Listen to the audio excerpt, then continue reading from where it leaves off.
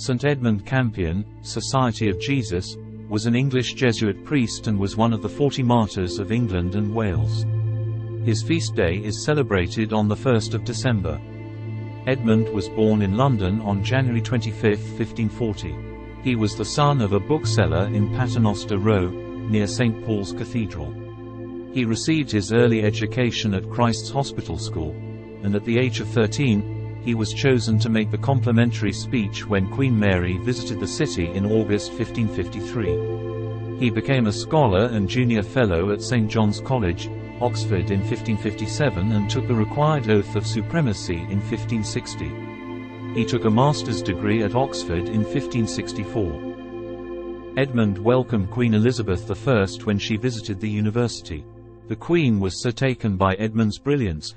Her praise fed his vanity and eventually led him away from his Catholic faith.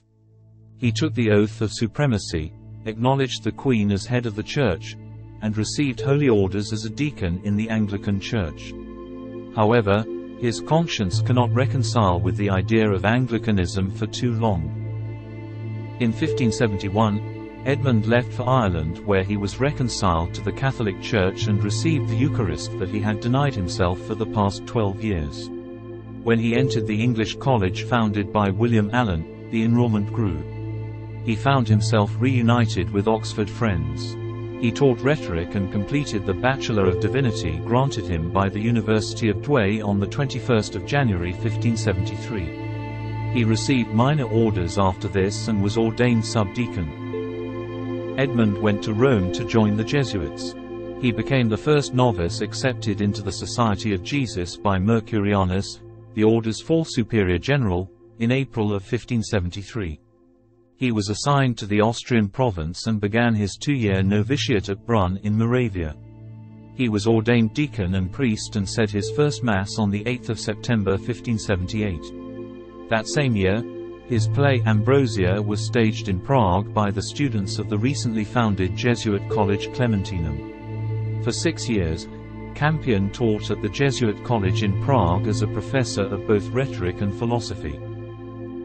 In 1580, Edmund was chosen to take part in the Jesuit mission to England. Before embarking, they learned that a letter detailing their party and mission had been intercepted and that they were expected in England. He arrived in London on the 24th of June 1580 where he immediately began to preach.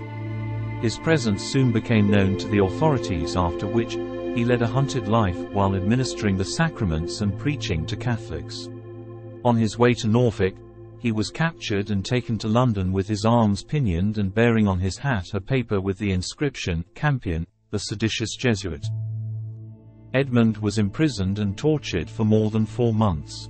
He was arraigned and indicted on 14 November 1581 with several others at Westminster on a charge of having conspired, in Rome and Reims, to raise a sedition in the realm and dethrone the Queen. Days later, they were found guilty of treason. After spending his last days in prayer, they were hanged, drawn, and quartered on the 1st of December 1581. Edmund Campion was beatified by Pope Leo XIII on the 9th of December 1886.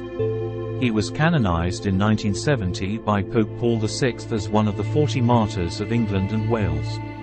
His feast day is celebrated on the 1st of December, the day of his martyrdom. The actual ropes used in his execution are now kept in glass display tubes at Stonyhurst College in Lancashire.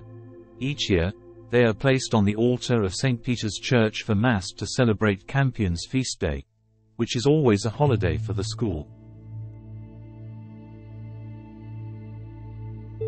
For more information about every saints and their feast day, please like and subscribe to our channel, House of Prayers for Everyone.